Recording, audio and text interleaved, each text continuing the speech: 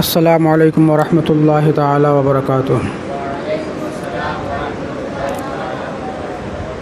अल्हम्दुलिल्लाह अल्हम्दुलिल्लाह कफ़ा वसलात वसलाम अला मुहम्मदनबीकल मुजतबा वअला आलिहि व अस्हाबिहि व अज़वाजिहि व ज़ुर्रियातिहि व अहले बैतिहि नूरुल हुदा अम्मा बाद फ़क़द क़ाल अल्लाह तबारक व तआला फ़िल क़ुरआनिल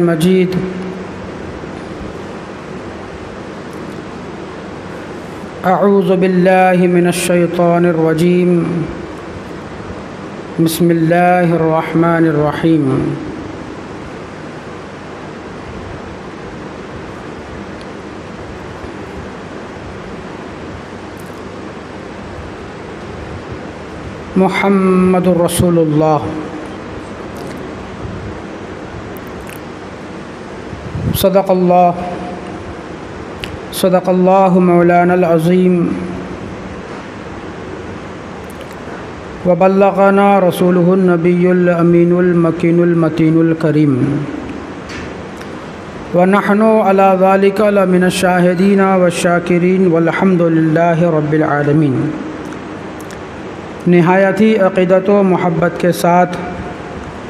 बारगाह रिसालत मआब में अपनी मोहब्बत का नजराना अक़ीदत पेश करें और पढ़ें बुलंद आवाज़ से अल्लाहुम्म सल्लि अला सैदना शफ़ीना बीबना मौलाना मोहम्मद करम। एक मरतबा और पढ़ लीजिए। अल्लाहुम्म सल्लि अला सैदना नबीना मौलाना मोहम्मद करम। वला आलिहि व सहाबी व बारिक वसल्लम सलाम रसूल अल्लाह अलैहि वसल्लम। हसूल बख्शिश व नजात के लिए एक मरतबा और पढ़ लीजिए। सल्लल्लाहु अला नबी व आलिहि सल्लल्लाहु तबारक व तआला अलैहि वसल्लम। सलाम अलैका या रसूल अल्लाह सल्लल्लाहु तबारक व अलैहि वसल्लम। मुअज़्ज़ज़ अहबाब अहल सुन्नत।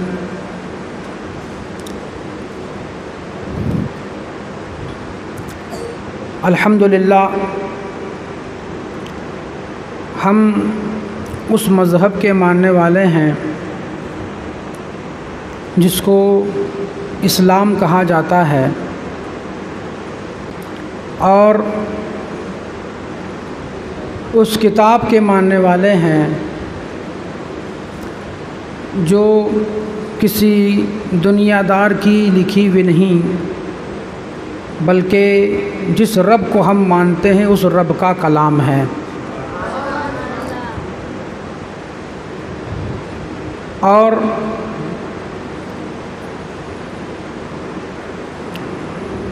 जिस नबी की हम उम्मत है, वो अल्लाह का महबूब और पसंदीदा रसूल है।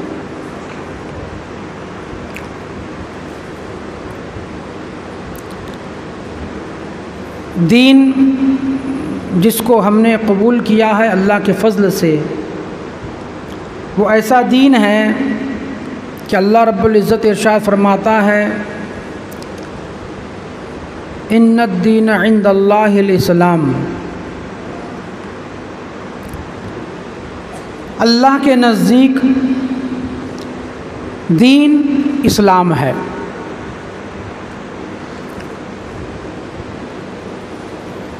किताब, वो किताब जो ज़ालिकल किताब लारईब बफ़ी है।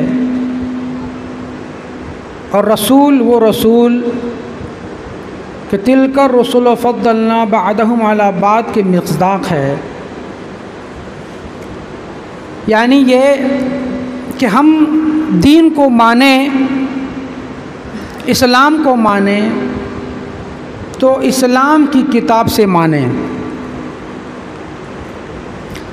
हम रसूलुल्लाह सल्लल्लाहु तबारक व अलैहि को माने, जाने, पहचाने तो उसी रसूल के ऊपर जो कुरान नाजिल हुआ, उससे जाने। उसी के तहत माने। और जो उस हक तर्जुमान, फैज़ हक तर्जुमान से कलमात जारी हुए, जिसको हदीस कहा जाता है, उसके तहत माने जाने। यही हमारे लिए कामयाबी है, फलाह है, बहबूदी है और दोनों जहाँ की बका है। हमें अल्लाह रब्बुल इज़्ज़त को मानने के लिए उसकी वहदानियत को जानने, उसकी इकरार करने के लिए किसी की ज़रूरत नहीं है। अल्लाह रब्बुल इज़्ज़त ने अपने महबूब से फरमाया महबूब मुस्तफ़ा करीम ने हमारे लिए ऐलान फरमा दिया कि कूलू अशहद अल्लाह के कहो, अल्लाह, मैं गवाही देता हूँ कि अल्लाह के सिवा कोई मबूद नहीं। हम उस रसूल के कहने पर अल्लाह को एक मानते हैं। और रसूल को रसूल, अल्लाह और उसके रसूल के कहने पर हम रसूल मानते हैं। हमारे दीन को सीखने, समझने के लिए हमें पहले ज़रूरी है कि हम अपनी किताबों को पढ़ें, सीखें और समझें। जब हम इन चीज़ों से आशना रख होंगे तो इन मुखालफी के मुखालफत का जवाब आपके सामने होगा। हर महीने, दो महीने छः महीने पर इस्लाम और इस्लाम के दाई आज़म के ताल्लुक़ से या आपसे जुड़ी हुई ख़वातीन और हमारी माओ के ताल्लुक़ से तरह तरह की भद्दी टिप्पणियाँ कर कर लोग ये बता देते हैं कि जो जैसा होता है, वैसा उससे टपकता है। किसी बर्तन के अंदर अगर शहद है तो उससे जहर नहीं टपकेगा। और जिसके अंदर जहर है, उससे शहद नहीं टपकेगा। हमारे रसूल सल्लल्लाहु तबारक व की मुबारक ज़ात वो अजीम ज़ात है कि जो जिस तरह का होता है उसको उसी तरह वो नज़र आते हैं। हज़रत अबू बकर सिद्दीक रदी अल्लाह तबारक व तन हुजूर की बारगाह में तशरीफ़ लाए और कहा, या रसूल अल्लाह सल्लल्लाहु तबारक व तसल्लम मैंने आपके जैसा हसीन किसी को देखा ही नहीं है। क्योंकि वो सहाबा वो थे, सहाबा वो हुए कि जिनकी माजी की ज़िंदगी को देखा जाए तो उनके दिल बड़े सख्त। इल्ला माशाल्लाह सबकी बात नहीं, मगर उसमें बहुत से ऐसे कि जिनके दिल बहुत सख्त थे इस्लाम कबूल करने से पहले।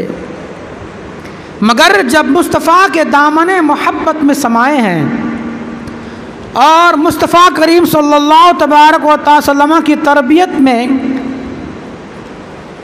ज़िंदगी गुजारी है तो उन्हीं लोगों ने अपनी जानें और अपनी गर्दनें मुस्तफ़ा के नाम पर क़ुरबान की है। जो ऐसे लोग कि जो अरब के अंदर आज भी तीन तीन इत्र को लगाने का मामूल है और शौकिया तौर पर वहाँ के लोग इत्र से मोहब्बत रखते हैं। और शायक है इत्र लगाने के। उस दौर में भी कीमती इत्र लगाने के वो शौक़ रखते थे। मगर उस दौर में भी उन लोगों के दिल जो पत्थर की तरह दिल थे, मगर जब मुस्तफ़ा का कलमा पढ़कर मुसलमान हुए और मुस्तफ़ा के अखलाक के गिरविदा हुए तो उन सहाब बाद में जो सहाबी उन लोगों ने भी हुजूर के पसीने को अपने जिस्म पर लगाने पर फ़ख्र महसूस किया। शायर कहता है, जिस्म का मुअत्तरू मंबउल अनवार, लतीफ़ों व नज़ीफ़ों या सैयद अबरार। महबूब, आपका जिस्म ऐसा जिस्म है कि जो मुअत्तर है, खुशबूदार है। और नूर का मंबा है, जहाँ से नूर फूटता है। लतीफ़ुन व नज़ीफ़ुन लतीफ़ है, पाक है, साफ़ सुथरा है।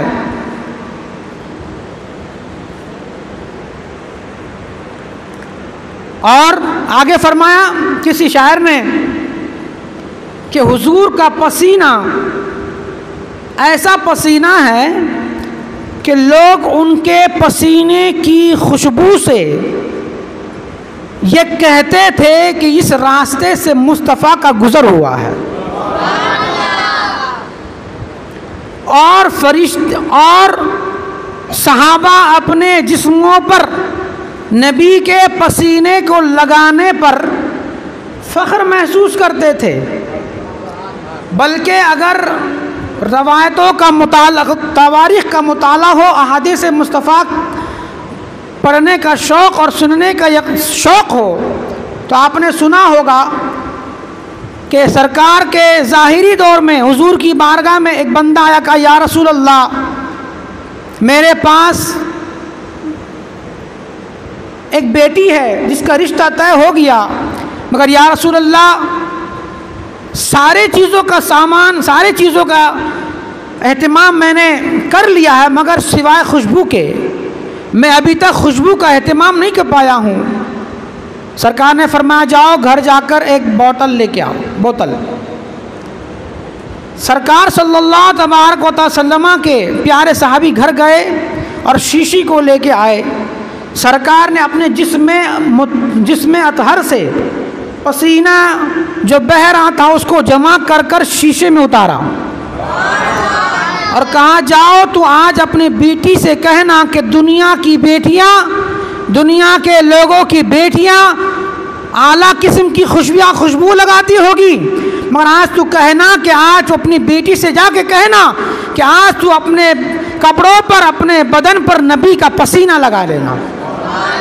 मौरखीन कहते हैं कि जब उस दुल्हन ने नबी का पसीना लगाया, देखिए फितरी तौर पर, फितरी तौर पर, मैं आपको ले जाना चाहता हूँ काश क्या इन आप पहुँच जाएँगे कि फितरी तौर पर इंसान किसी से कितनी भी मोहब्बत करता हो तो उसके पसीने से मोहब्बत नहीं करता है।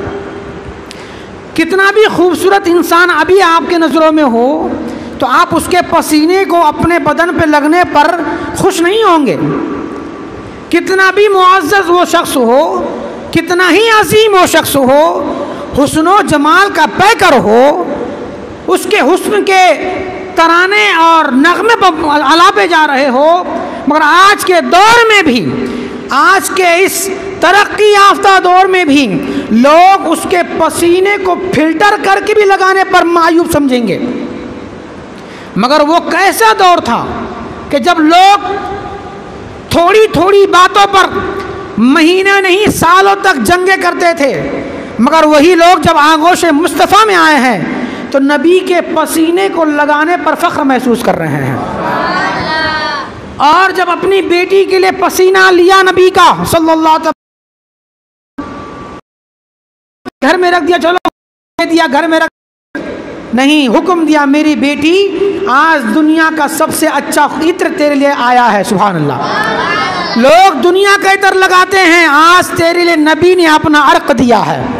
हाँ, सुबह अल्लाह और मौरखीन कहते हैं कि जब उस खातून ने दुल्हन ने नबी का पसीना लगाया तो मदीने की गलियाँ महक रही थी। सुहान अल्लाह और मदीने की गलियाँ ही नहीं बल्कि मौरख लिखते हैं कि सात नस्लों तक जितने बच्चे उस खातन के नस्लाबाद नस्लिन पैदा होते रहे सब के सब खुशबूदार पैदा होते रहे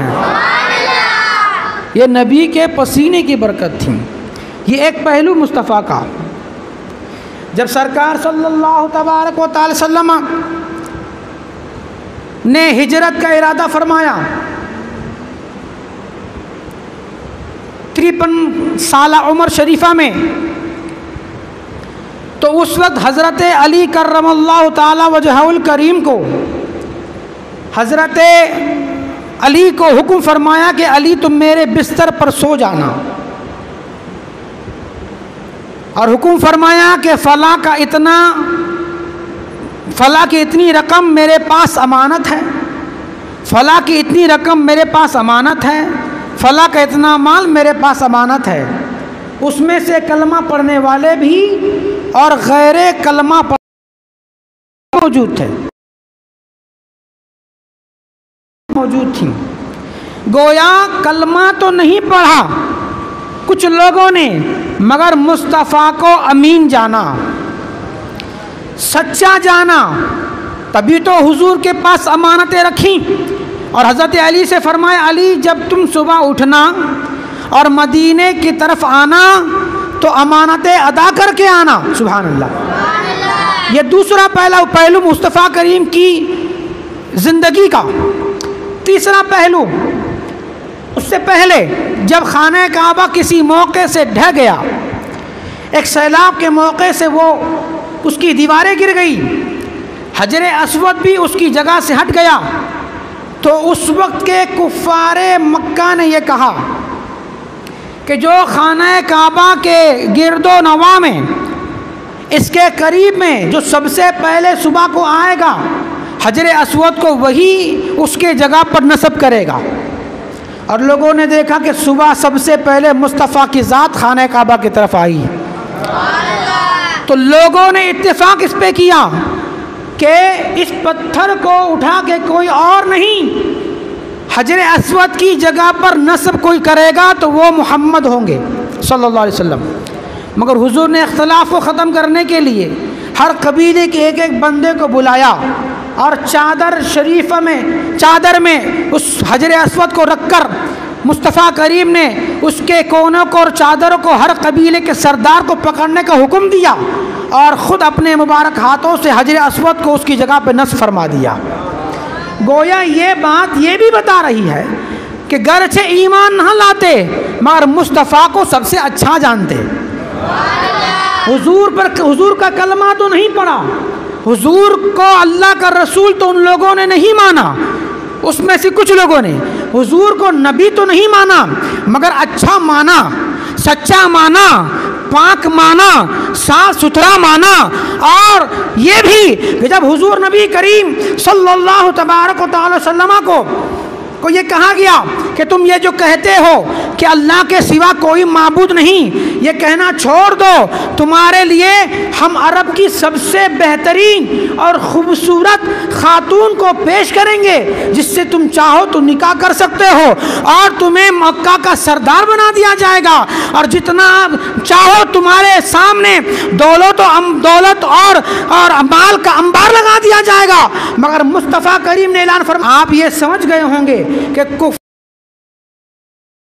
हुजूर की जवात, ज़ात करीमा ऐसी थी जो पाक थी साफ़ सुथरी थी, अच्छे ख्यालों वाली थी, अच्छी नीयत वाली थी, एतमाद वाली थी, मोतमद थी, अमीन थी, जो है अमीन थी, लोगों की थी, जो है तो हुजूर को आगे किया है। अमानत की बात आई है तो हुजूर को आगे किया है। और ख़वातीन को पेश कर कर ये जुमला कहकर कि अगर हुजूर की माजल्ला हुजूर के जहन में ये हो कि सबसे खूबसूरत औरत से निकाह करने का ऑफ़र दिया जाए तो ये भी तुम्हारे लिए पेश किया जाता है। मगर हुजूर ने यह ऐलान फरमा कर, सुनो सुनो, कि एक हथीरी में चाँद हो, एक हथीरी में सूरज हो, तब भी मैं यही कहूँगा कि अल्लाह एक है और मैं अल्लाह का रसूल हूँ। मतलब ये कि मुझे औरतों की ख्वाहिश नहीं है। मुझे मालो दौलत की ख्वाहिश नहीं है। अरे मैं वो हूँ कि अगर हुक्म कर दूँ तो ये पहाड़ तुम्हें जो नज़र आ रहे हैं, ये सोने बनकर तुम्हारे पीछे पीछे चलेंगे। गोया हुजूर की जवात ज़ात मुबारक उस वक्त के कुफारों के नज़र में भी ऐसी ज़ात थी कि जिस पर वो भरोसा करते थे। अरे हुजूर ने फरमाया फारान की चोटी से ऐलान नबूस के दिन, ए कहाँ के लोगों? अगर मैं तुम्हें ये कहूँ कि इस पहाड़ के पीछे से एक लश्कर ऐसा आ रहा है, जो तुम पर हमला आवर होने वाला है, और वो मुसल जो हैं, जो अपने जिस्मों पर असलहा लादे हुए हैं, वो तुम्हें तह तय करने वाला है तो क्या तुम इसका इकरार करोगे? और तुम मानोगे? तो कहाँ सबने एक जबान कहा था, हम आपको सादी को अमीन मानते हैं। हम आपको सच्चा और अमानतदार मानते हैं। सबने ये कहा था, मगर जब मुस्तफ़ा करीम ने ऐलान नबूत किया और अल्लाह की वहदानियत का इकरार किया तो उसी में से कुछ लोग मुखालिफ हो गए। गोया हुजूर की ज़ात पर, कि हुजूर की ज़ात की शख्सियत की बात अगर इस तौर पर की जाए, कि उस वक्त के कुफ़ार, क्या हुजूर को नेक चलन जानते थे कि नहीं जानते थे? तो सारे कुफ़ार की एक ही बोली होगी कि सबसे साफ़ सुथरा मक्का के अंदर कोई जवान है तो उसका नाम मोहम्मद है। उस वक्त के कुफारों की जबान ये होगी। और इसीलिए तो आगे आप सुनेंगे। इसीलिए तो वो मामला पेश हुए, जो आज के ये नाम नेहात पंडित समझते नहीं और ख़ुद अपनी किताबें पढ़ते नहीं। अगर तुम्हें इस्लाम और इस्लाम के दाई आज, अजीम, दाई आज़म की रिवायतें उनकी ज़िंदगी पर कुछ तबसरा करना ही है तो पहले उनकी सही सीरत को पढ़ लो। फिर अपनी किताबों को भी पढ़ लो। कहीं ऐसा तो नहीं कि जो तुम कह रहे हो, लौट के तुम्हारे तरफ़ आ जाए। तुम आसमान में थूकोगे तो तुम्हारा थूक तुम्हारे मुँह पे वापस आएगा। है ना? इसलिए गौरव फ़िक्र कर कर, जब भी कुछ बोलना हो, और ये क्या बात है? कि कभी भी उठे छूटे, मुँह से अपनी बात निकाल दी, जिनको ये भी लिहाज नहीं है कि किसको खाना है, किसको पीना है, जिनका ये भी इनको मालूम नहीं, वो लोग मेरे ऐसे मुस्तफ़ा पर टिप्पणियाँ करते हैं। अरे, जिसके ताल्लुक से हमारे बड़े कहते हैं। क्या कहते हैं? कि उनका तलवा ऐसा तलवा है कि उनके तलवे की पुष्ट चाँद से ज़्यादा रौनकदार है। हा? और उनके तलवों की, उनके तलवे के नीचे का हिस्सा, ऐसा कि बिल्लूर से ज़्यादा रौनकदार है। अरे, ये तो ये बात है। हमारा अकीदा, हमारा ईमान ये है कि हुजूर के बोलो बरास से भी खुशबुएँ फूटा करती थी। तुम उनके बोलो बरास के बराबर भी नहीं हो, किसी चीज़ के बराबर नहीं हो। मेरे मुस्तफ़ा की ज़ात ऐसी है कि किसी को उसे तस्वीर दी ही नहीं जा सकती है। वो बेमिसलो बेमिसाल है, वो बेमिसलो बेमिसाल है। मगर समझाने के लिए बोल रहा हूँ कि अगर मेरे मेरे मुस्तफ़ा की बात करनी है तो मेरे मुस्तफ़ा के ताल्लुक से पहले पूरी तौर पर जानकारी हासिल कर लो। ये मामला क्यों हुआ? क्या सबब है? क्या वजह है? क्या इसमें राज है? और जब तुम पढ़ लो और तुम्हारा दिल ये कहें कि चलो अब उद्योग करने के लिए कुछ मिल गया है तो कभी कभी अपनी किताबें भी पढ़ लिया करो कि अपनी किताबों में तुमने क्या लिखा, क्या छपा है। हम नहीं कहते, हम तो अभी भी मस्जिद का एहतराम करते हुए और इंतज़ार ना फैले। हिंदुस्तान में अमन बरकरार रहे, हिंदुस्तान की सालमियत बरकरार रहे और हमें ईमान, हमारा ईमान ये बताता है कि अपने मुल्क की हिफाजत करो इसको मद्देनजर रखते हुए अपनी जबानों पर शरीयत के ताले लगाते हैं और फिर इस बात को कहने पे मजबूर हो जाते हैं कि सुनो, अगर तुम झूठ, तुम जो है झूठ बोलोगे तो तुम्हारे तुम्हारे झूठ का पर्दाफाश तुम्हारी किताबों से किया जाएगा। तुम्हारी बोली का जवाब तुम्हारी बोली से दिया जाएगा। अलगर्ज ये, आज ये कहाँ जा रहा है? आज नहीं, बल्कि बरसों से कहा जा रहा है कि हुजूर नबी करीम रऊफ़ुररहीम सल्लल्लाहु तबारक व तआला ने हज़रत तय्यबा ताहिरा आफ़ीफ़ा सिद्दीक़ा, हज़रत आयशा, सिद्दीक़ा रदी अल्लाह तहा से छः साल की उम्र शरीफा में निकाह किया। तो तुमको क्या तकलीफ़ है? किसी ने अगर किसी से निकाह किया तो तुमको क्या तकलीफ़ है? अभी हम बोलेंगे तो हमारा बोलना हिंदुस्तान के कवानीन के ख़िलाफ़ हो जाता है। है ना? इसलिए मैं बस इतना ये कहना चाहता हूँ कि लोगों, पहले ये ये जहन साजी करना भी ज़रूरी है। अपने लोगों तक सही बात को पहुंचाना भी ज़रूरी है। इसलिए बात को मैं कह रहा हूँ कि लोगों कभी कभी तुम्हारे जहन व फ़िक्र को ख़राब करने के लिए कहा जाता है। जैसे उस उस जो है जाहिल पंडित ने यह कहा?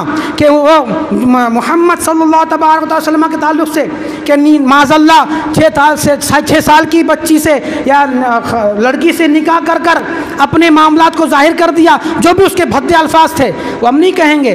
हम यही बात तुम्हारी किताबों में बता सकते हैं। और तुम्हारे उनके ताल्लुक से बता सकते हैं जिसको तुम सबसे ऊँचा मानते हो। और सुनोगे आप आगे हमारे बयान में। ये सिर्फ़ इसलिए हैं कि कभी अपने दामनों को खंगाल लिया करो, कभी अपनी किताबों को पढ़ लिया करो, और फिर किसी पर जो है गोबर फेंकने की कोशिश करो, वो गोबर तुम्हारे ऊपर वापस आएगा। हमारे आका पर उंगलियाँ उठाने से पहले कभी कभार अपने धर्म को भी तो पढ़ लेते। और जो इनके अंदर भी है जो सही पढ़े लिखे लोग हैं उनके अंदर, वो कभी ऐसी बातें नहीं करेंगे। वो ऐसी भद्दी टिप्पणियाँ नहीं करेंगे, जिनको मुल्क का ख्याल है, जिनको मुल्क की सालमियत का ख्याल है। जिसको मुल्क के अमनो इतमान का ख्याल है, वो ऐसी भद्दी टिप्पणियाँ नहीं करते हैं। अगर आप किसी जगह प्रवचन करने जा रहे हैं तो अपनी धर्म की बातें करो। और अगर किसी धर्म की और बात करनी है तो अच्छी बात करो। किसी धर्म के ताल्लुक से, उसके गुरुओं के, उसके धर्म गुरुओं के ताल्लुक से भद्दी टिप्पणियाँ करके तुम्हें क्या मिलता है? थोड़ी सी तालियाँ बच जाएगी, और थोड़ी देर के लिए तुम्हें वाहवाही मिल जाएगी।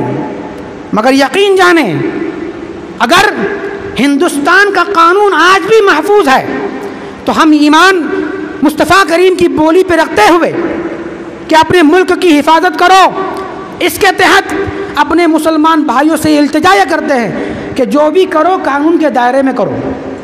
कानून के दायरे से हट के ना करो, क्योंकि आज तुम्हारे, तुमको निशाना बनाया जाता है। तुम्हारे नबी पे बोलकर तुमको अंदर किया जाता है। इसलिए जो करना हो अपने कानून को, इस हिंदुस्तान के कानून को जानकर, कानून के दायरे में रहकर आवाज़ उठाया करो, ताकि तुम्हारी बोली का वज़न भी हो सके, तुम्हारी बोली का अहतमाद भी हो सके, और तुम्हारी बोली की सुनवाई भी की जा सके। सिर्फ़ हो हंगामा करने से कोई हासिल नहीं है, गाली गुलूस करने से कोई फ़ायदा नहीं है। अरे, मैंने अभी कहा कि जिसके अंदर जो होता है, वो उसको नज़र आता है। वो जैसी सोच रखने वाला है, उसके जहन में वैसी बात आई। क्योंकि हमारी तवारीख ही बताती है। अबू बकर सिद्दीक रदी अल्लाह तबारक तालन जब हुजूर की बारगाह में आए कहा या रसूल अल्लाह मैंने आपसे खूबसूरत तो किसी को देखा ही नहीं है। कौन सुबहान अल्लाह कौन सुबहान अल्लाह किसी को देखा ही नहीं है। अबू बकर ने मोहब्बत की नज़र से देखा रदी अल्लाह ने अकीदत की नज़र से देखा।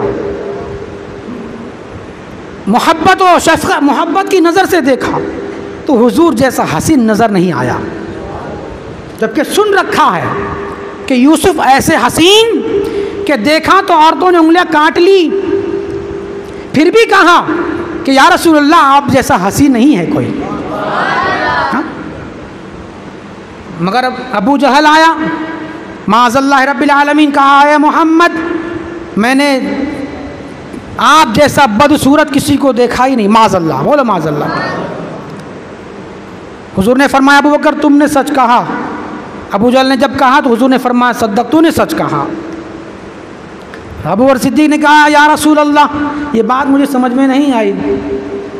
अरे हुजूर तो गुत्थों को खोलते हैं ना। ये ऐसे लोग हैं, इनकी गुत्तियाँ खुली हुई है पहले। हाँ जो जैसा होता, उसको वैसा नज़र आता है। हाँ? अल्हम्दुलिल्लाह, हमारा कोई मौलवी रेप केस के अंदर अंदर नहीं जाता। हाँ वो तुम्हारे मामलात हैं, जो रेप करके अंदर जाते हैं। अल्हम्दुलिल्लाह, हमारा कोई मौलवी ऐसा नहीं, सुन्नी सही अकीदा, जो सच्ची मोहब्बत मुस्तफ़ा से करने वाला है। वो तुम्हारे बेशुमार ढेरों पड़े हुए हैं, जो इस मामले के अंदर आज भी अंदर पड़े हुए हैं। जो जैसा होता, उसको वैसा नज़र आता है। और हमारी जबानें खुलती हैं तो फिर जहर निकलता है। लोगों को लगता है ये जहर है। अरे तुम्हारे मामला तो तुम्हारी इबादत खानों में महफूज नहीं रहे। समझ रहे हैं मेरी बात को? तुम्हारे मामला और तुम्हारे बद तुम्हारे बद काम बद किरदार तुम्हारे इबादत खाना भी तुम्हारी बद, बदकारियों से महफूज नहीं रहे। और तुम हमारे मुस्तफ़ा पे उंगलियाँ उठाते हो। जो जैसा होता है, उसको वैसा नज़र आता है। हजूर ने फरमाया, सच कहा तुमने अबू बकर? अबू जहल, तुमने भी सच कहा। कहा, या रसूल अल्लाह ये बात समझ में नहीं आई, क्या मज़ा क्या वजह है? आप, मैंने कहा, आप सबसे हसीन है, आपने फरमाया, सच कहा। इसने कहा, ऐसा आपने कहा, सच कहा। हुजूर ने फरमाया, मैं आईने की तरह हूँ। हज़रत सैदा आयशा फरमाती हैं, मेरा मेरा नबी मुस्तफ़ा आईने की तरह है।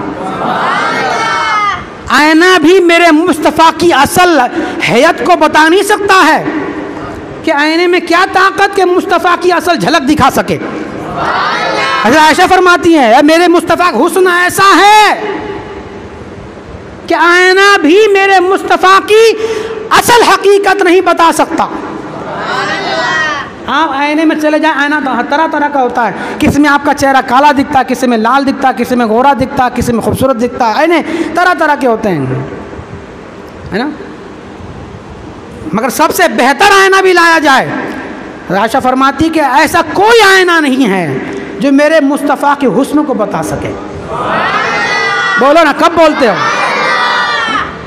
हुजूर ने फरमाया, मैं मिसले आईना हूँ। मैं मिसले आईना हूँ। जो मेरे सामने आता है, अपने आप को वैसा देखता है। तो हुजूर की बात उसी वक्त तक महदूद नहीं रहती। हुजूर की बात क़यामत तक और जन्नत तक है। तो जो हुजूर को जिसने देखा नहीं, अब वो हुजूर को जिस नीयत से पढ़ेगा, उसको हुजूर वैसे ही नज़र आएँगे। आज अमेरिका के अंदर लोग इस्लाम को अच्छी नीयत से पढ़ रहे हैं तो मुसलमान हो रहे हैं। कुंबा के कुंबा मुल्कों का मुल्क मुसलमान हो रहा है। ये बहुत वक्त कहता है कि एक लाख हो गए तो एक करोड़ हो गए। तुम्हारी मालूम अधूरी है मियाँ। मियाँ नहीं कहना चाहिए उसको। तुम्हारी मालूम अभी अधूरी है पंडित जी। हाँ तुम्हारी मालूम अभी तुमको ये होश नहीं है कि क्या खाना है और क्या पीना है। पहले खाने पीने का एहतमाम ठीक से कर लो, उसके बाद किसी पर बोलने की हिम्मत करना।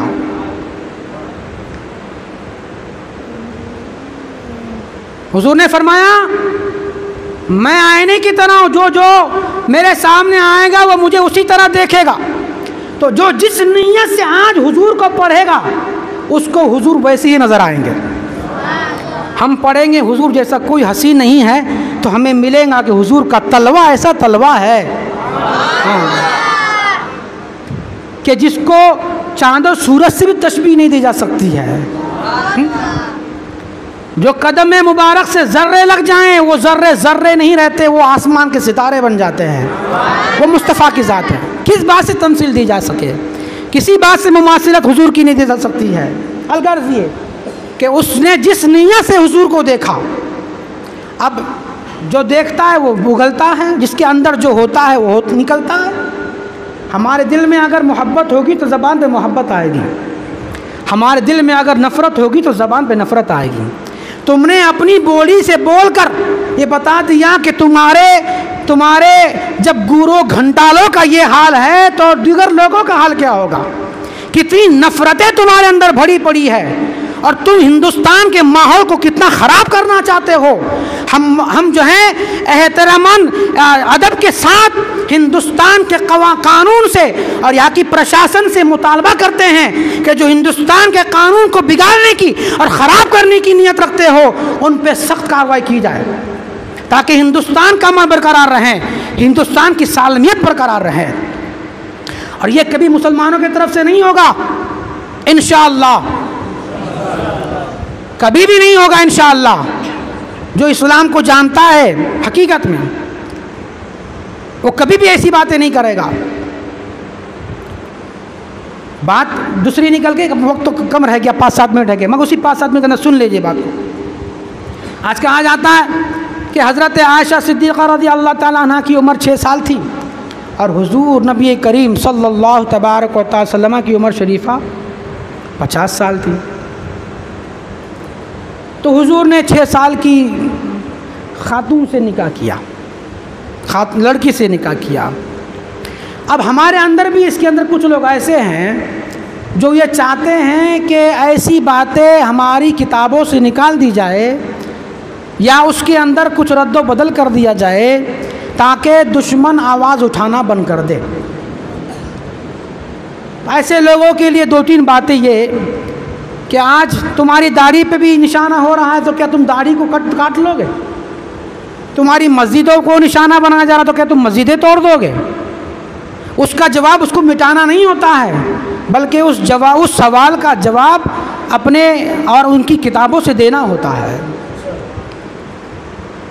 हुजूर सल्लल्लाहु तबारक वसल्लम ने निकाह जो किया छः साल की उम्र में इसमें हमारी कौम में भी दो गिरोह ऐसे हैं जो कहते हैं कि सौ, सोलह, सत्रह साल या अठारह साल की उम्र में या उन्नीस साल की उम्र में निकाह हुआ और एक गिरोह कहता है कि छः साल की उम्र। में तो जो कौल अठारह या सत्रह या उन्नीस का है, वो तारीख़ का कौल है। और छः साल की उम्र का जो कौल है, वो हदीस का कौल है।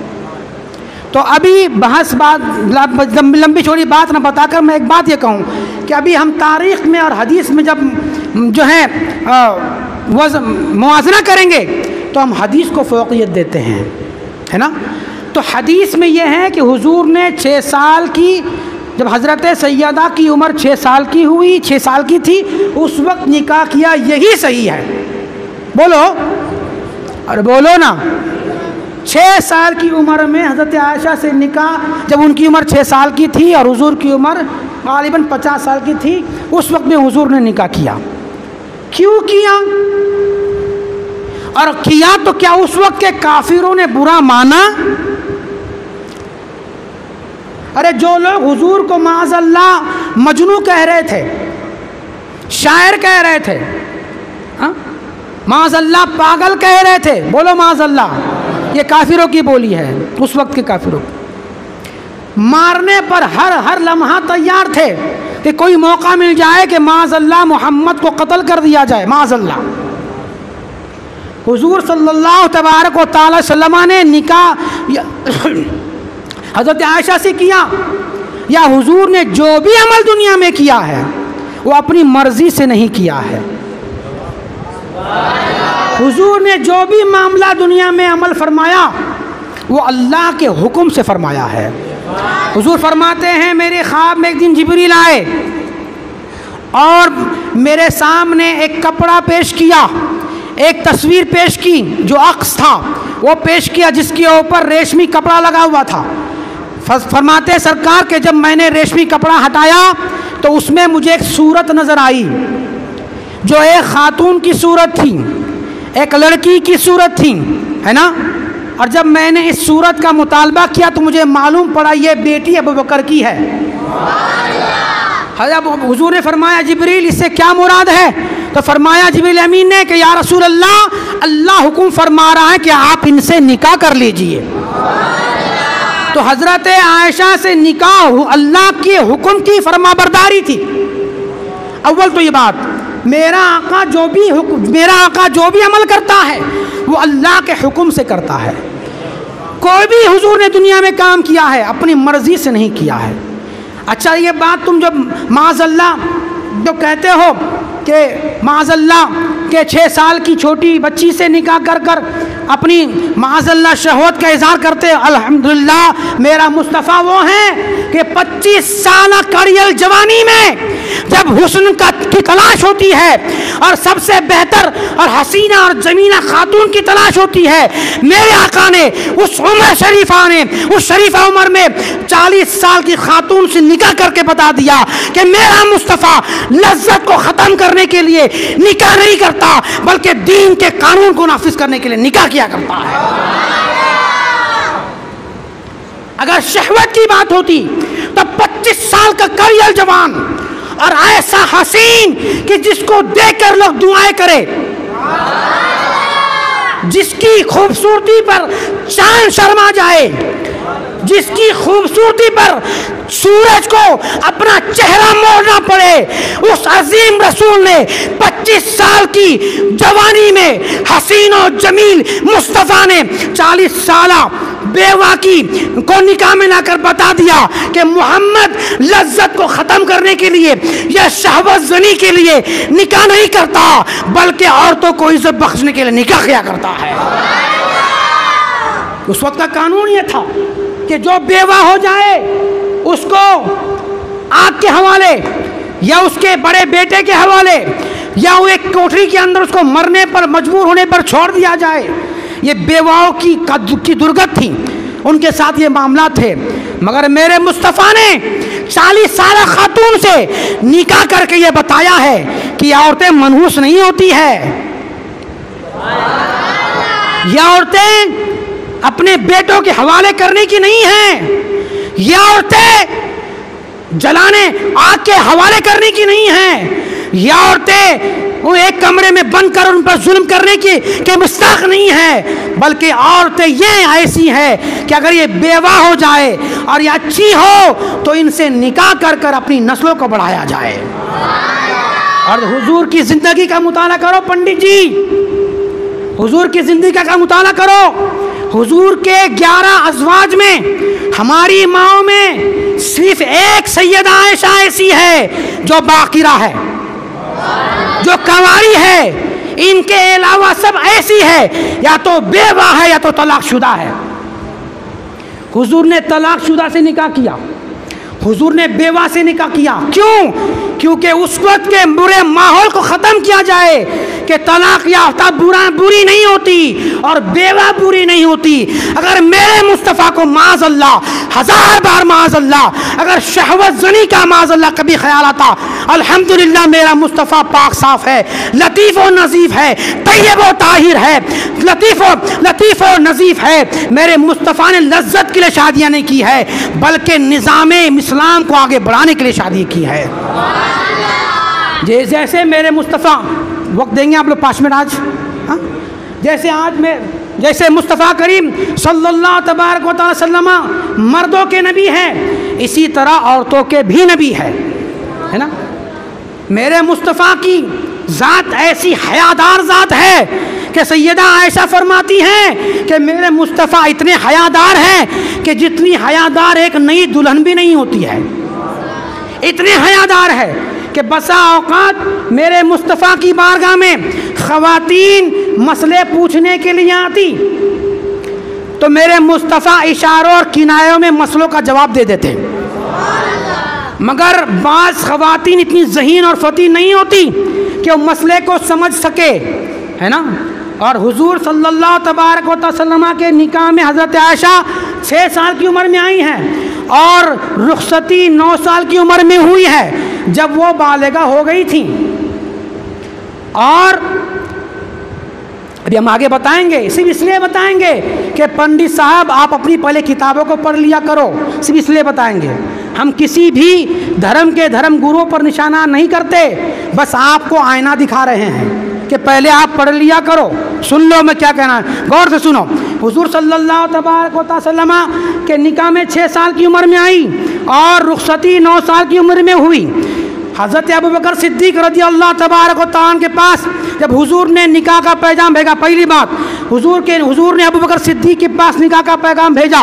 उसकी वजह ये थी कि हुजूर के जो जान के दुश्मन बने हुए थे, उसमें से बहुत से लोग ऐसे थे जो अबू बकर सिद्दीक के ख़ानदान से नस्बत रखते थे।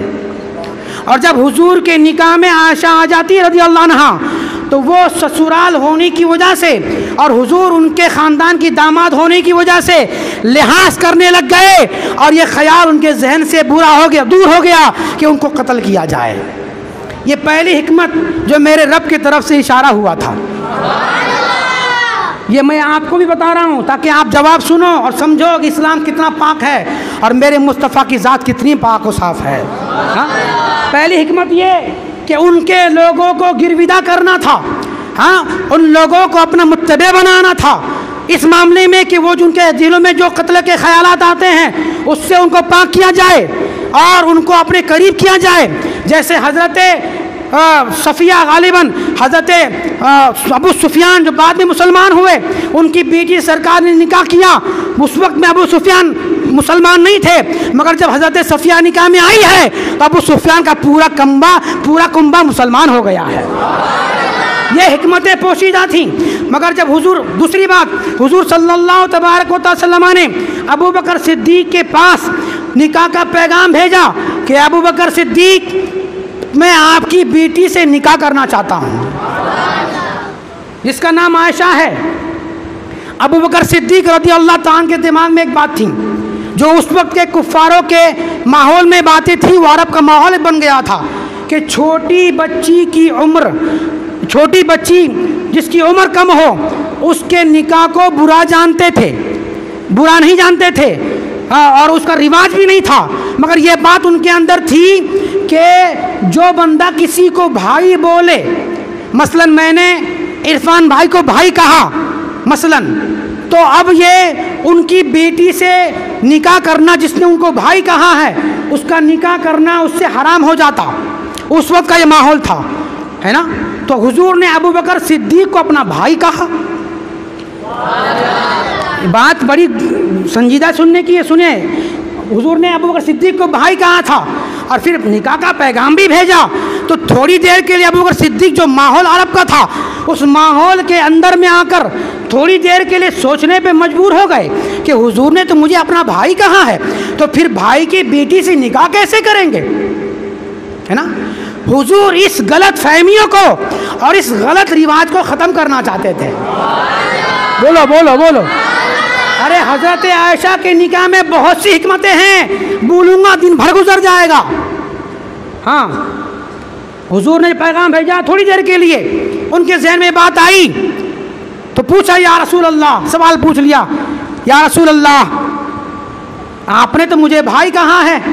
और अरब का ये दस्तूर है कि जो किसी को भाई कहता है, उससे उसकी बेटी का निकाह नहीं होता। उसको बुरा जानते हैं, नाजायज समझते हैं, हराम समझते हैं। फिर आपने मेरी बेटी से निकाह का पैगाम कैसे भेजा है? हुजूर ने फरमाया, सुनो, कानून इस्लाम बयान कर दिया। तो तो अभी मोमिन हर तो कौन ये इस्लाम है इस्लाम अरे कमी नहीं ये दीन अल्लाह का दीन अल्लाह का और मुस्तफ़ा का ला इस में कमी नहीं मिलने वाली। आओ।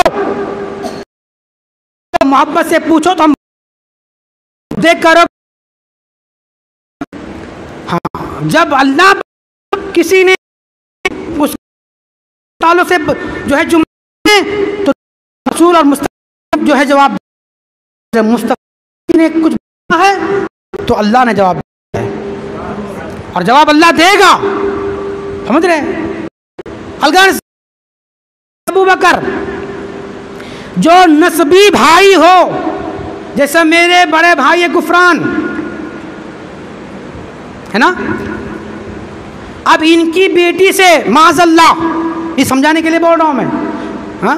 मेरे भाई का इसलिए नाम लिया कि कोई बदगुमान ना हो जाए। अब मैं अगर निकाह करना चाहूँ इनकी बेटी से तो ये मेरे लिए हराम है। सुन मैं, समझ में आ रही बात? समझाने के लिए बोल रहा हूँ। ये नस्बी भाई जो होगा, उस भाई की बेटी से निकाह हराम। मगर जो इस्लामी भाई हो, उससे निकाह हराम, उसकी बेटी से निकाह हराम नहीं, ये मुस्तफ़ा ने कानून बताया और रहती दुनिया के मुसलमानों के मसले को हल फरमा दिया। नहीं तो कानून तो ये बताया ना मुस्तफ़ा ने, कुल्लो मोमिन इखवा, हर मोमिन मोमिन का भाई है। तो क्या रिश्ता लेके जाते आप क्या कहते? अरे मैं तो तेरा भाई है, फिर मैं बेटी कैसे दूँ? तो क्या करते फिर? ये दीन है हमारा, अल्हम्दुलिल्लाह। हाँ? तो हुजूर ने फरमाया, अबू बकर, जो ये अरब का दस्तूर है, ये गलत दस्तूर है। अरब का जो ये रिवाज है, ये गलत रिवाज है। रिवाज वही सही है जो इस्लाम दे। हा? अच्छी बात वही है जो इस्लाम बताए। ए अबू बकर, अगर तुम मेरे नसबी भाई होते, तुम मेरे बाप से हम दोनों की पैदाइश होती हाँ तो फिर बात अलग होती। मगर अबू बकर, तुम मेरे नसबी भाई नहीं हो, तुम मेरे अखलाकी भाई हो, तुम मेरे दीनी भाई हो। हाँ हजूर ने फरमाया तो अबू बकर सिद्दीक। अब अगर उस वक्त छः साल की उम्र की बच्ची, मसला समझ में आ गया आपको?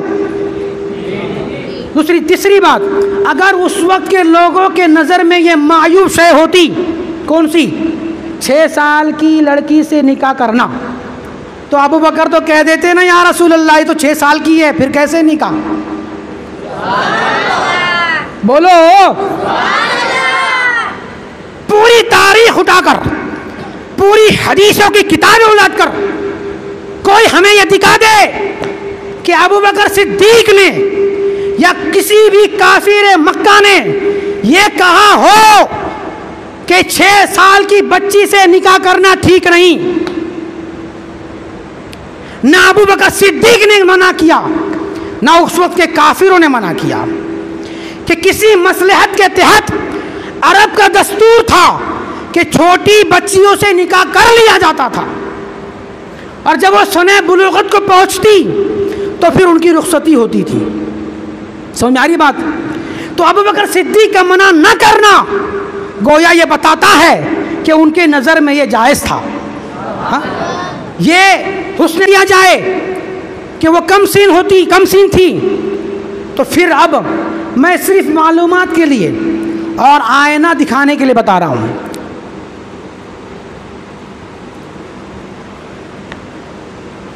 इनकी किताब का नाम क्या है? रामायण से पहले कुछ कहते हो लोग। हाँ? नहीं, रुको एक मिनट एक मिनट रुको। दर्शिप अल्लाह मसल सैदना मौलाना मोहम्मद मादम वाला आलि वसलम सलातम अलैका रसूल अल्लाह सल्लल्लाहु ताला अलैहि वसल्लम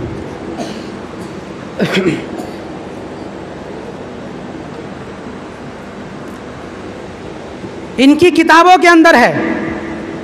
ये सिर्फ़ मैं इसलिए बोल रहा हूँ ताकि मेरे मुसलमान भाइयों, पढ़ो, चिल्ला पुकार मत करो खाली। गाले गुलूज करके आपस के ऊपर केस लगा के मत आ जाओ। कुछ होश से काम लो। हाँ कुछ करना है तो पहले उसका मशवरा कर लिया करो। अरे हुजूर जैसा कौन होगा? मगर हुजूर ने भी अपने कामों से पहले मशवरा किया है। तो तुम्हारे आप लोग को क्या घून खा गया? हाँ? कि कीड़े चढ़ गए हैं? क्यों नहीं आप हुजूर की बातों पे को फॉलो करते? क्यों मशवरे नहीं करते? आप में हर कोई काबिल नहीं है, मगर हर कोई मोहब्बत रसूल का तो ये भी तो है। तो फिर उस दायरे में रहकर मशवरे क्यों नहीं करते? अक्लमंदी से काम क्यों नहीं करते? जो आपके अंदर पढ़े लिखे लोग हैं, उनको जमा कर कर मशवरे कर कर फिर कदम क्यों नहीं उठाते? ऐसा कदम उठाओ कि तुम्हें पछपाना पछपाना होने पड़े। तुम्हें फिर बाद में पछताना ना पड़े। अलगर्ज ये कि हिंदुओं की किताब के अंदर भी है कि जब उनके यहाँ भी ये माहौल है मामला है कि एक उनके यहाँ एक शादी होती है जिसको आ, वो ये कहते हैं कि देव विवाह। क्या कहते हैं? देव विवाह। ये देव विवाह का रिवाज हिंदुओं के यहाँ है, उनकी किताबों के अंदर है। उसमें क्या होता था कि गाँव देहात के लोग कभी कभी अपने घर पे ऋषियों को बुलाकर यज्ञ करवाते थे। क्या करते थे? ऋषियों को जो उनके होते हैं, उनको बुलाकर यज्ञ करते थे, जो उनका तरीका होता है, करते थे। और ऋषियों के साथ आए हुए किसी पुरोहित से अपनी लड़की का निकाह कर देते थे। उस निकाह को वो देव देव विवाह कहते हैं। अब लिखते हैं आगे कि इसी शादी में कभी कभार कम उम्र की बच्ची भी किसी पुरोहित के निकाह में दे दी जाती थी। समझ रहे अब कम उम्र से आप क्या समझेंगे? अट्ठाईस साल। अरे बोलते क्यों नहीं? क्या समझोगे? छः साल, आठ साल, दस साल, ये ना कम उम्र। हाँ अभी अभी कहेंगे आप कि अभी तो सत्रह साल की हो जाए, अठारह साल की हो जाए तो अभी कानून ये कहता है कि वो नाबालिग है। तो ऐसे में फिर आप क्या कहिएगा? मगर हकीकत यही है कि नौ से लेकर बारह की उम्र तक बच्ची बालगा हो जाती है। तो वो कर देते थे। और उसको पुरोहित के साथ उसकी, उसका, उसकी शादी कर कर उसके साथ भेज देते थे। उसमें बाज़ अवकात कम सिन लड़कियाँ भी होती। पंडित जी अपनी किताबें पढ़ लिया करो। अब ये बात तो एक हुई। है पाँच मिनट आपके पास? बोलो। है पाँच मिनट? दुरुशी पढ़ो मौलाना मोहम्मद मादनजुदलकरम वाला आलि व सहाबी बारसलम सलातम वसलाम या रसूल सल्लल्लाहु तबारक व ताला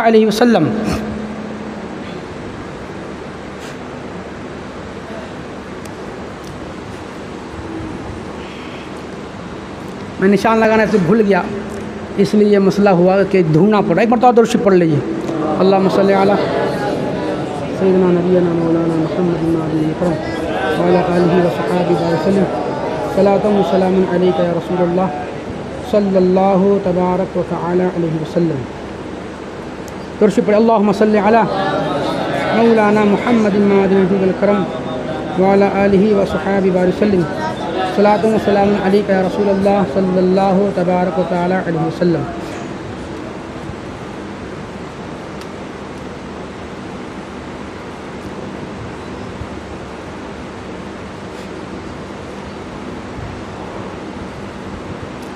एक किताब है इनकी, बाल मेकी रामायण। यही नाम होता है? हाँ? है? बाल्मीकि रामायण, ये इनकी किताब है। इस किताब के अंदर मैं सिर्फ़ ये बात इसलिए कह रहा हूँ कि जो आस पास में हमारे हिंदू भाई लोग सुन रहे हो, वो आपके ऐसे पंडितों को खबरदार करे कि इससे माहौल ख़राब होता है और अगर बोलना ही है तो पहले अपनी किताबें पढ़ लिया करें। समझ रहे? हाँ?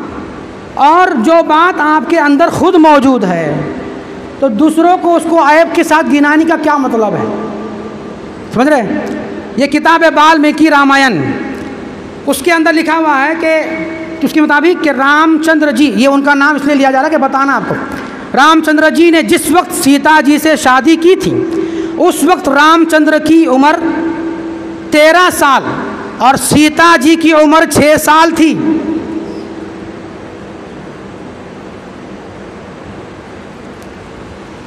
कागज़ का यह लिबास बदन से उतार दो। हाँ बादल बरस गया तो कहाँ मुँह छुपाओगे? हाँ?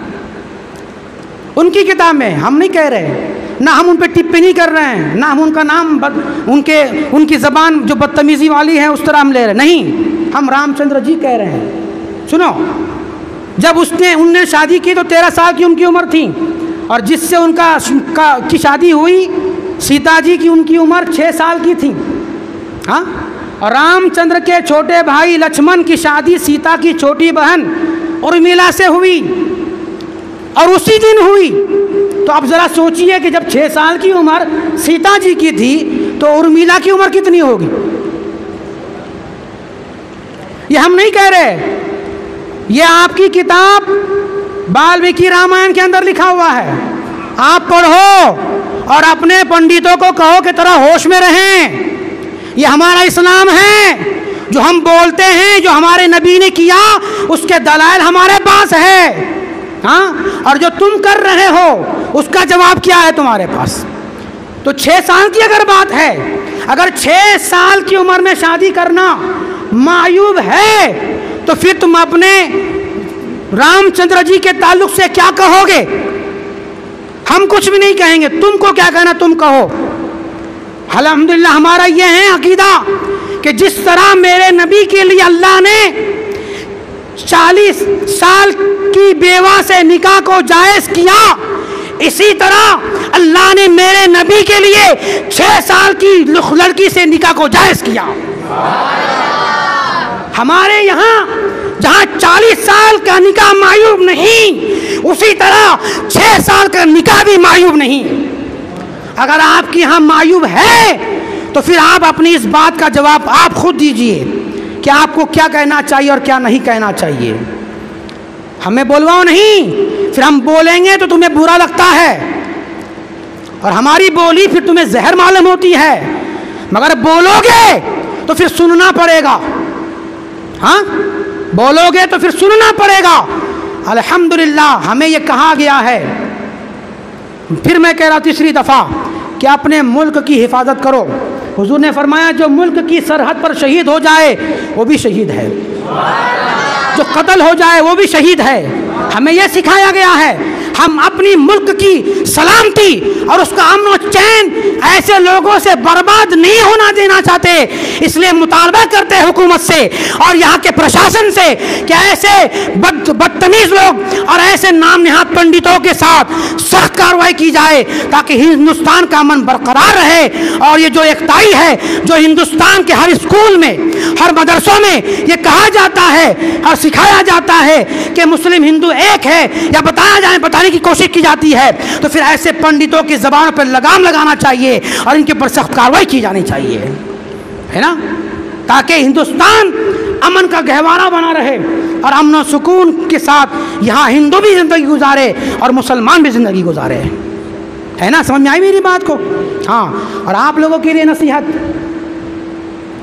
मेंढों की तरह खाली काम मत करो। कि एक मेंढे ने कुड़ी लग लगा दी बॉडी के अंदर तो सारे मेंढे बॉडी के अंदर। ऐसे ऐसे मेंढो वाली अकल मत रखो। अरे अल्लाह ने तुम्हें अकल सालिम दिया, अकल सलीम दिया है।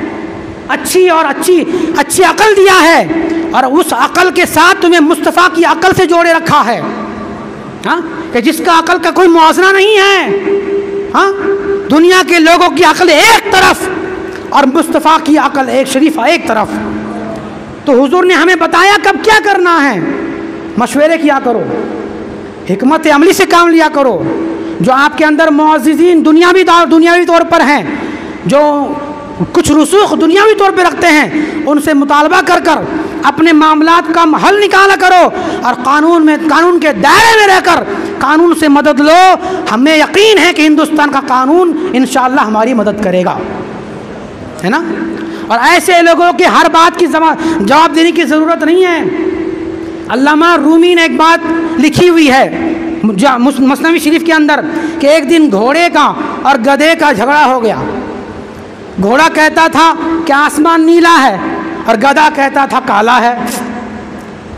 तो झगड़े को मिटाने के लिए दोनों पहुँचे शेर के पास और कहा, शेर, आप इसका, आप आप यहाँ के बादशाह है, जंगल के राजा हमारा फैसला कर दीजिए। क्या बात है? कहा कि, सुनो सुनिए कि मैं कहता हूँ, घोड़े ने कहा, मैं कहता हूँ कि आसमान नीला है और गधा कहता कि काला है। तो इसका फैसला कर दीजिए कि कौन सही है। तो जो शेर ने कहा कि, ए, उस वक्त जो उसके मामला लिखा कि इसको, इस घोड़े को कैद में डाल दो। घोड़े को कैद में डाल दो। घोड़े ने कहा, बादशाह, जंगल के राजा, आप तो इस जंगल के राजा, आपको भी मालूम है कि आसमान नीला है फिर आप मेरी सच्ची बात पे मुझे जेल में डालने का हुक्म क्यों दे रहे हैं? तो शेर ने कहा, सुनो, तुम्हें सज़ा इसलिए नहीं कि तुम जो है, आसमान को नीला है तो नीला करो, इसलिए नहीं। सज़ा इसलिए है कि तूने गधे से मुँह लगाया क्यों? तूने गधे से मुँह लगाया क्यों? ये गधा मुँह लगाने का नहीं है। समझ रहे हैं? तो अकल से काम लो। अल्लाह ने आपको मुस्तफ़ा का दीन दिया है। हजूर की अहादी से दी है। अल्लाह रब कदीर हम तमाम की मदद फरमाएँ। सच बोलने की, हक बोलने की, हक सुनने की, समझने की सलाहियत, क़वत, हिम्मत अता फ़रमाएँ। ईमान पर रखें। ईमान पर ख़ात्मा बिल खैर नसीब अता फ़रमाएँ। और खुशखबरी आपके लिए, सबके लिए कि आज इन बाद नमाज़ मगरब ताइशा इमाम अहमद रज़ा मस्जिद इसी मस्जिद के अंदर अज़मत मुस्तफ़ा के नाम से मौसूम एक जलसा रखा गया है। आप लोग आएँगे नहीं हमको मालूम है। क्योंकि आपको मज़ा आता है वहाँ चिल्ला पुकार करने में। हम्म, वीडियो में आना है लोगों को दिखने वाला हाँ ये बहुत मोहब्बत करने वाला है। बदतमीज़ी भी करते हैं। क्यों कैमरा फोड़ रहा है? क्यों किसी को मार रहा है? क्योंकि उसका उसके अंदर हम नहीं आना चाहिए? तो बेहूदे आया क्यों तू यहाँ पे? नहीं आना चाहिए कैमरे अंदर। तो क्यों आया तू यहाँ? तुम्हें कौन बुलाया था आने के लिए? और इतनी हिम्मत नहीं है तो मत आया करो। क्यों आते हो? क्यों बकवासें करते हो? और क्यों बेकार की बातें दिखाते हो लोगों के बीच में? हिम्मत है तो फिर हर चीज़ के लिए तैयार रहो। हाँ? ऐसी ढकोसले मत दिखाओ। यह मुस्तफ़ा का कानून है। हाँ बात आए तो गर्दन दो। मुँह की जबानी नहीं चलती यहाँ। तो आएँगे आप लोग। कब प्रोग्राम है? आज बाद नमाज़ मगरिब मगरिब से ही शुरू हो जाएगा इन आएँगे आप लोग? इन आइए, आएँगे इन तो कुछ सुनने मिलेगा आपको। कुछ सुनने मिला आपको? सीखने मिला आपको कुछ? तो आएँगे तो सीखेंगे ना। इस्लाम को पढ़ेंगे तो मालूम होगा ना क्या इस्लाम क्या है। ये यूट्यूब और इस से सोच कर आपको बहकाने की भी कोशिश होती है। जो कम पढ़े लिखे लोग होते हैं नहीं समझने वाले होते, जो किसी ओलमा की रहबरी में नहीं होते, वो बहक जाते। पढ़ो इस्लाम को, आओ मुस्तफ़ा के कानून को समझो, आओ सीखो। आएँगे इन हाँ आइए इन प्रोग्राम के बाद आप हजरा सबके लिए खाने का इंतज़ाम भी है। हमारे इस मस्जिद के अजीम रुकन एक अहम रुकन अल्लाह की बेपना मगफरत फरमाएँ। मेरे बहुत मुहिब और दिल जो है आपके हर दिल अज़ीज़ मरहूम मकफूर अलहाज जनाब अकरम साहब के इसाल सवाब की महफ़िल है उसमें ये अज़मत मुस्तफ़ा का, का जलसा रखा गया है। और जो है उसी नस्बत से इस साल सवाब का खाना नहीं होगा वो, है ना? वो आप लोगों को आएँगे तो आपको उस, आपके आने की वजह से खाना खिलाया जाएगा, है ना? तो आइए और मरहूम के लिए दुआ मगफरत भी कीजिए। सिराज भाई की तरफ़ से आप सबको दावत है खाने की भी। प्रोग्राम में भी आइए और खा के भी जाइए इन आएँगे इन आएँगे? अल्लाह रब कदीर हम तमाम को ईमान पर रखें। ईमान पर ख़ात्मा बिल खैर नसीब फरमाए आखिर व दावाया अनिलहमदिल्ला रबालमीन पढ़ लीजिए, ला इलाहा इल्लल्लाह ला इलाहा इल्लल्लाह मुहम्मद रसूलुल्लाह